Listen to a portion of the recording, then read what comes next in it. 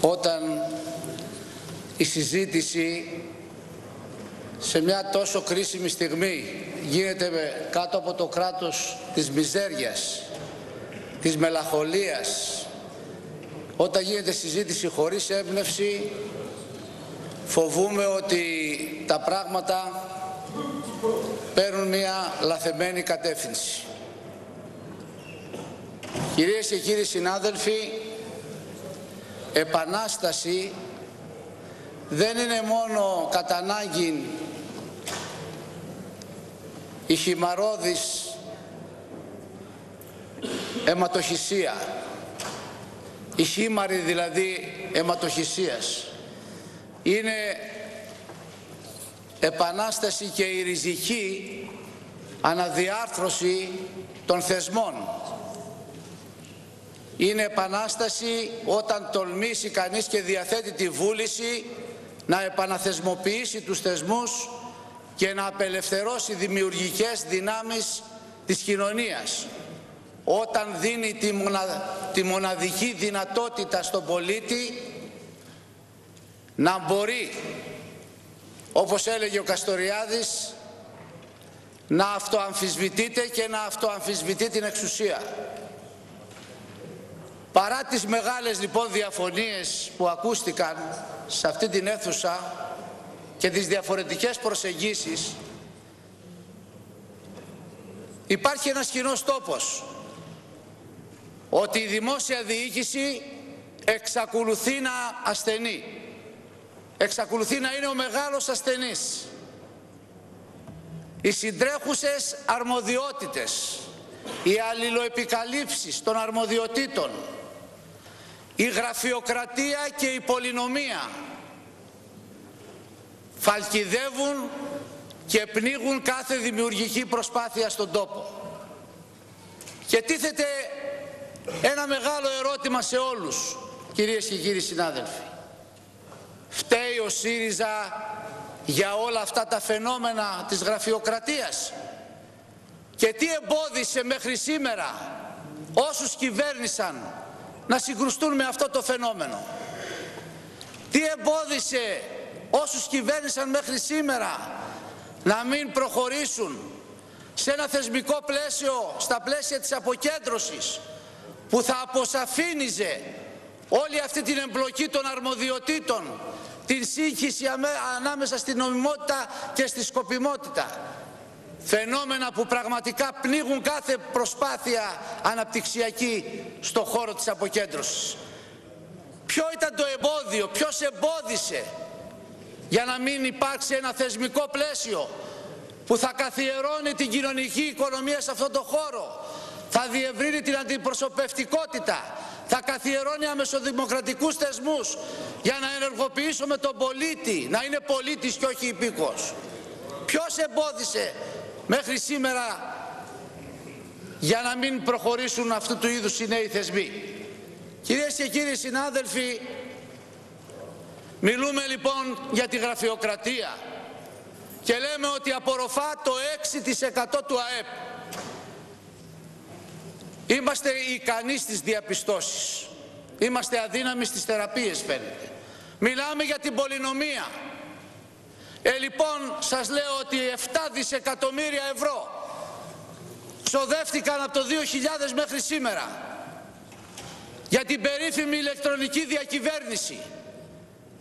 Πρέπει ή δεν πρέπει να αισθανόμαστε ντροπή όταν μια χώρα που ήταν στα αζήτητα η Εστονία σήμερα αν τηλεφωνήσει σε ένα συγκεκριμένο αριθμό μπορεί σε ένα τέταρτο να γίνεις ηλεκτρονικός κάτοικος αυτής της χώρας με ευεργετικότατες συνέπειες για την ανάπτυξή της. Τι ήταν λοιπόν αυτό που εμπόδισε κυρίες και κύριοι συνάδελφοι; Δεν είχαμε ικανούς ανθρώπους; Δεν το πιστεύω. Δεν είχαμε επιστήμονες; Η χώρα ίσως να είναι μέσα στις μετρημένες πρώτες χώρες στον κόσμο για τα μυαλά που διαθέτει. Και εδώ και στη Διασπορά. Τους επιστρατεύσαμε, τους ζητήσαμε να μας στηρίξουν, να προσπαθήσουν για να μπορέσει η χώρα να βγει από αυτήν την παρακμή. Κυρίες και κύριοι συνάδελφοι, δεν ήταν οικονομικοί οι λόγοι. Δεν ήταν καθόλου οικονομικοί, ούτε λόγοι ικανότητας. Βούληση δεν υπήρχε. Καταθέσαμε ένα νομοσχέδιο, κύριος Βερναδάκης, για την αξιολόγηση των δομών και των προσώπων.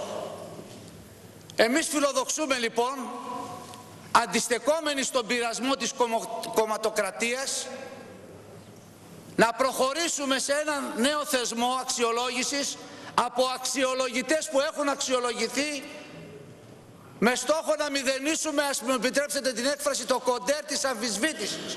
Επιτέλους να αξιολογηθούν με αντικειμενικό τρόπο και να καθιερωθεί η αξιοκρατία σε αυτόν τον ταλαιπωρημένο χώρο της δημόσιας διοίκησης.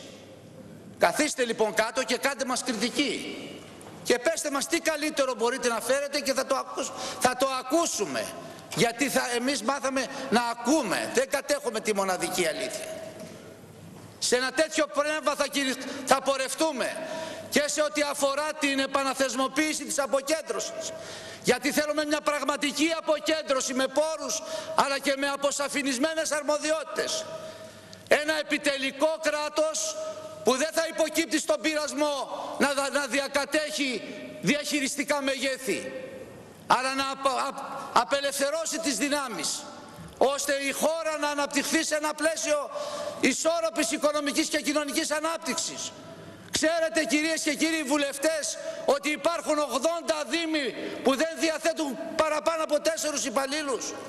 Ξέρετε ότι αυτοί οι δήμοι δεν διαθέτουν τη δυνατότητα να αξιοποιούν ευρωπαϊκά προγράμματα γιατί δεν διαθέτουν ούτε πόρους ούτε προσωπικό. Ξέρετε ότι με αυτόν τον τρόπο διευρύνεται, η οικονομική και η κοινωνική ανισότητα στη χώρα. Επιτέλους δεν είναι μόνο η Αθήνα και οι μεγάλες πόλεις η Ελλάδα. Αντί να συζητήσουμε αυτά τα ζητήματα, η μιζέρια, τι έκανες, τι έκανα, τι δεν έκανες, τι έκανα εγώ στο παρελθόν. Νομίζετε ότι ο ελληνικός λαός δεν έχει κρίση; Μόνο όταν μας ψηφίζει έχει καλή κρίση; Το ίδιο θα κάνουμε και με την κωδικοποίηση της νομοθεσίας. Γιατί εμείς θα το ολοκληρώσουμε αυτό το έργο. Και θα προχωρήσουμε και την κωδικοποίηση της διοικητικής διαδικασίας, όπου πνίγεται η σχέση πολίτη και κράτους στην ασάφεια. Με συνέπεια να τρέχει ο κόσμος στα διοικητικά δικαστήρια και να εκδίδονται υπο, υποθέσεις που αφορούν κυρίως την ανάπτυξη σε δύο, τρία και πέντε χρόνια. Έτσι χάθηκε η ανάπτυξη από την Ελλάδα. Η πραγματική ανάπτυξη. Όχι των αριθμών. Σύνταγμα. Εμείς μας σε συνεργασία το Υπουργείο Εσωτερικών, κυρίες και κύριοι συνάδελφοι, με το Υπουργείο Δικαιοσύνης θα ανοίξουμε, θα πρωτοτυπήσουμε, θα ανοίξουμε έναν ανοιχτό και απροκατάληπτο διάλογο με την κοινωνία. Να κατατεθούν προτάσεις, ιδέες, σκέψεις και να πάμε συνολικά και συλλογικά όλοι μαζί στο μεγαλύτερο δυνατό βαθμό. Και θα το διαπιστώσετε ότι αυτό που λέω έχει και ουσία και αξία. Γιατί δεν έχουμε κανένα λόγο να μην πάμε σε ένα σύνταγμα που θα κατοχυρώνει τα ατομικά δικαιώματα θα συγκρούεται με τις διακρίσεις θα κατοχυρώνει το κοινωνικό κράτος θα διασφαλίζει τα δικαιώματα του πολίτη και θα συμβάλλει στην ισόρροπη ανάπτυξη της χώρας. Ένα σύνταγμα με αμεσοδημοκρατικούς θεσμούς που θα επικαλείται και θα, θα, θα κινητοποιεί τον πολίτη που αδιαφορεί αυτή τη στιγμή. Θα πάμε και στον εκλογικό νόμο. Και εκεί θα δείτε ότι οι προθέσεις της κυβέρνησης δεν κρύβουν δεύτερες σκέψεις. Δεν έχουμε κανένα λόγο να υπηρετούμε σκοπιμότητες. Θέλουμε έναν εκλογικό νόμο πιο δίκαιο, και θα τολμήσουμε αυτό που δεν τόλμησε κανένας γιατί δεν μιλάτε για αυτά. Τέσσερις φορές φέρατε στη Βουλή όλα τα κόμματα το σπάσιμο των περιφερειών. Και από μηχανίστε ως κάποιο χέρι έπαιρνε πίσω τις, τις διατάξεις. Δεν μιλάτε για αυτά. Αυτά έπληξαν τη χώρα. Γιατί εδώ στη Β' Αθηνών ήταν το μεγαλύτερο εκολαπτήριο της διαφθοράς. Ή δεν είναι έτσι. Κυρίες και κύριοι συνάδελφοι, επειδή ακούω και πραγματικά με, με στεναχωρεί και με, με θλίβει, επιτέλους όταν ανεβαίνουμε σε αυτό το βήμα, να έχουμε το πολιτικό κουράγιο να λέμε τα πράγματα, να κάνετε κριτική σε αυτή την κυβέρνηση. Αυτή η κυβέρνηση πρέπει να την κάνουν κριτική οι βουλευτές της που δεν άλλαξε όλο αυτή τη δομή που αν ήσασταν εσείς όπως έπραξαν προηγούμενα κόμματα την επόμενη μέρα δεν, έμενε, δεν έμεινε Άγιος στη θέση του. Πού έγιναν οι ανατροπές στα νοσοκομεία, πού έγιναν αλλαγές στα διοικητικά συμβούλια, για πέστε μου. Έφερε διάταξη ο, ο, ο, ο σημερινός πρόεδρος της Βουλής όταν ήταν υπουργός Εσωτερικών Εφτά θέσεις πολιτικές υπήρχαν στις αποκεντρωμένες διοικήσεις θα τους είχατε αλλάξει την επόμενη ώρα και η κυβέρνηση αυτή επέλεξε να πάει σε μια διαφανέστατη διαδικασία και να παραχωρήσει τις θέσεις αυτές σε υπηρεσιακούς παράγοντες. Και έρχεστε εδώ στο βήμα και λέτε άρρητα ρήματα. Κυρίες και κύριοι συνάδελφοι, επειδή ακούω και για τα ζητήματα της διαφθοράς, αυτή η λίστα που έφερε η σημερινή κυβέρνηση από τη Γερμανία, πάρτε τα πρακτικά κύριοι συνάδελφοι βουλευτές, στις 8 και 9 Αυγούστου του 12, εδώ και τέσσερα χρόνια, κατέθεσε ο Μιλών μαζί με άλλους δύο συναδέλφους. Ερώτηση και ζητούσε από τον Υπουργό Οικονομικών τότε να ζητηθούν από το συγκεκριμένο κρατήδιο της Γερμανίας οι λίστες αυτές και δεν έγινε ποτέ. Εμείς ξέρετε τώρα τι κάνουμε κύριε και κύριοι συνάδελφοι. Θα δώσουμε τους ανθρώπους που ζήτησε και η ανεξάρτητη αρχή της διαφθοράς, της δίωξης της διαφθοράς και των οικονομικών εισαγγελέων 70 στελέχη εξειδικευμένα με απόφαση του Υπουργού Εσωτερικών και Διοικητικής Ανασυγκρότησης δική μου και του κυρίου Βερναδάκη ακριβώς για να στελεχωθούν οι υπηρεσίες αυτές να μπορέσουν πραγματικά να φέρουν στις πέρας κρίσιμα ζητήματα όπως είναι ο έλεγχος των θαλασσοδανείων που δεν τολμήσατε ποτέ αυτό το ζήτημα να το ανοίξετε. Πάνω από 15 δισεκατομμύρια ευρώ δόθηκαν τα τελευταία 10 χρόνια σε δάνεια που υπάρχουν, κυρίες και κύριοι συνάδελφοι, υπάρχουν εκθέσεις των ελεκτών της Τράπεζας της Ελλάδος που τα επισημαίνουν και όμως βρέθηκαν στα αρχεία. Προχωρούμε στη στελέχωση από, τα υπόλοιπα, από τις υπόλοιπες προσλήψεις αυτού του χρόνου. Τελειώνω κύριε, κύριε Πρόεδρε, τελειώνω. Υπουργέ, ευχαριστώ. Α, ένα σημαντικό αριθμό για τις ανάγκες της ε, τοπικής αυτοδιοίκησης. Δώσαμε παράταση στο προσωπικό των 8 μηνών στην καθαριότητα στην τοπική αυτοδιοίκηση για όλο το 16 και υλοποιούμε μέχρι ένα ευρώ τις υποχρεώσεις του προϋπολογισμού για την τοπική αυτοδιοίκηση. Όταν πριν από λίγους μήνες πολλά, πολλοί λέγανε ότι δεν θα τον υλοποιήσουμε και τα παρακρατηθέντα παρακαλώ 203 εκατομμύρια θα δοθούν μέχρι σε ένα ευρώ από αυτή την κυβέρνηση στην τοπική αυτοδιοίκηση.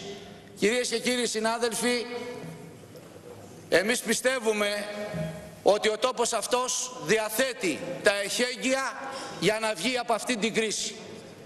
Ζητήσαμε συνεννόηση. Δεν ζητήσαμε ούτε συγκυβέρνηση. Η κυβέρνηση αυτή έχει αραγές μέτωπο κοινοβουλευτικό και θα το δοκιμάσετε και θα το διαπιστώσετε. Ως εκ τούτου μη μυριολογείτε για πράγματα που δεν σας ζητήθηκαν. Σας ζητάμε να συνεννοηθούμε. Δεν θέλετε, θα το κρίνει ο ελληνικός λαός. Όλους μας μας κρίνει ο ελληνικός λαός. Και εσάς και εμάς. Εμείς λοιπόν πιστεύουμε ότι μπορεί αυτός ο τόπος να πάει μπροστά. Γιατί έχουμε όραμα γιατί πιστεύουμε στον τόπο, στις δυνατότητες και στις δυνάμεις αυτού του τόπου. Κλείνω λοιπόν λέγοντας, παραφράζοντας μία φράση του αείμνηστου Βασίλη Τριανταφυλλίδη. Έλεγε ο Βασίλης Τριανταφυλλίδης ότι ο Τσοπάνος σκαλίζει την γλίτσα του όχι για να την κάνει πιο γερή αλλά για να την κάνει πιο όμορφη. Εμείς πιστεύουμε λοιπόν στα νέα παιδιά του τόπου, στους νέους επιστήμονες του τόπου. Όχι γιατί είναι νέοι και όμορφοι, αλλά γιατί κυρίως είναι γερά μυαλά και αυτά τα μυαλά είναι απαλλαγμένα από τη μιζέρια, είναι μυαλά που μπορούν να ενεργοποιηθούν και να, να συμβάλλουν στην ανάπτυξη της χώρας, μια ανάπτυξη που θα φέρει το χαμόγελο στα χείλη όλων των Ελλήνων, όχι κάποιων Ελλήνων. Γεια σας. Ευχαριστώ. Ευχαριστούμε κύριε Υπουργέ. Το λόγο έχει ο πρόεδρος της Κοινοβουλευτικής